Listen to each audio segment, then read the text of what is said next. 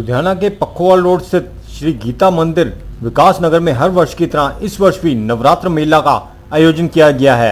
मंदिर कमेटी के प्रदीप ढल ने बताया कि इस दौरान माँ की चौकी में जाने माने भजन गायक सुरेश मेहंदी रता अपनी मधुर आवाज़ से माँ को रिझाएँगे। इसके अलावा माँ के भक्तों द्वारा बड़े उत्साह के साथ डांडिया खेला गया। इससे आपसी प्रेम व भाईचारा बढ़ता है। इस मौके पर प्रतिभागी युवतियों ने कहा कि गुजरात का डांडिया यहाँ खेलने में बहुत आनंद आया।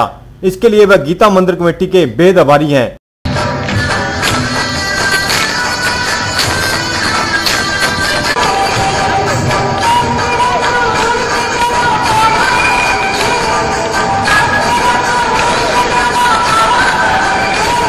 श्री गीता मंदिर विकास नगर, लुधियाना।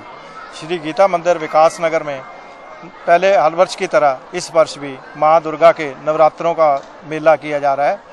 इस मेले में माँ की चौकी जो है आज आयोजन किया जा रहा है। इसमें प्रमुख और प्रख्यात जो भजन संगीतकार हैं, श्री सुरेश मेहंदी रत्ता जी, देश विदेश के जाने माने गायक हैं। आज अपनी कंठ से माँ भगवती को रिझाएँगे और भगत उनके सामने डांडिया व गरबा पेश करके, प्रस्तुति करके माँ को पूरा पूरा अपना उनसे आशीर्वाद प्राप्त करेंगे। ਬਹੁਤ ਸਭ ਤੋਂ ਪਹਿਲਾਂ ਤਾਂ ਬਹੁਤ ਅੱਛੀ ਗੱਲ ਆ ਕਿ